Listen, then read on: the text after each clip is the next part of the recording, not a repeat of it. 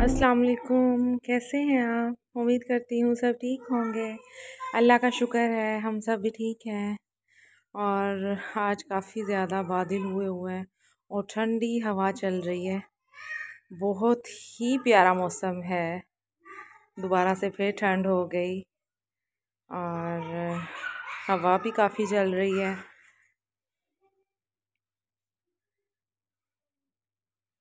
और आज मैं बनाने लगी हूँ हलवा पूड़ी। सबसे पहले मैंने मैदा लिया है।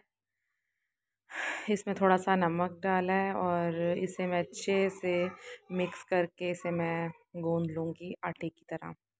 ना इतना नरम हो, ना इतना सख्त हो। बस ये नॉर्मल ही हमारा आटा हो गया रेडी। और अब मैंने एक पैन में ऑयल लिया है, उसमें अनियन को मैंने गोल्डन किया है, उसमें एक टमाटर डाला है। और अब मैं लहसुन अदरक का पेस्ट डालूँगी, इसे फ्राई करूँगी थोड़ा सा पानी ऐड करूँगी।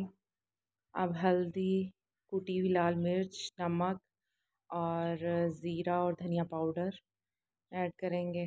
इसे अच्छे से मिक्स करेंगे। अब इसमें मैं ये चने डाल दूँगी। ये मैंने बॉईल कर लिए थे और ये अब मैंने इसमें पानी डाल के इसे पाँच छः मिनट के लिए रख दिया है और इधर मैंने ऑयल लिया है। इसमें दो तीन इलायची डाली हैं और ये अब सूजी डाली है हलवा बनाने के लिए और इसे मैं अच्छे से भूनूँगी। ये देखिए इसकी बनाई होगी और स्मेल भी बहुत अच्छी आ रही है और अब इसमें मैं पानी ऐड कर दूँगी। इसे मिक्स करेंगे अच्छी तरह और अब ये चीनी ऐड कर दूँगी। ये फ़ूड कलर येलो और ये हमारे चने भी रेडी हो गए हैं।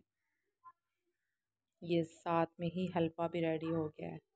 देखिए येलो कलर कितना अच्छा लग रहा है।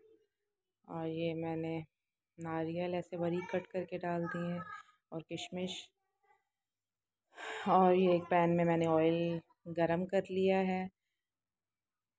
मुझे लग रहा था कि गरम हो गया, लेकिन वो इतना नहीं हुआ था।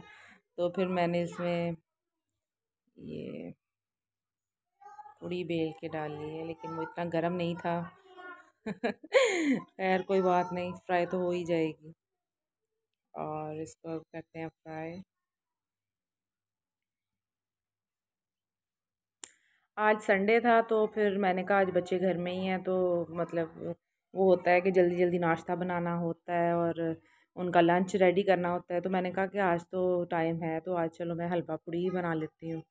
तो इसलिए फिर ये मैंने बनाई और ये हमारी पूड़ी होगी रेडी और ये मैंने बेलन से मैं बना रही थी, वो मैंने कहा, ये तो टाइम बड़ा लग रहा है।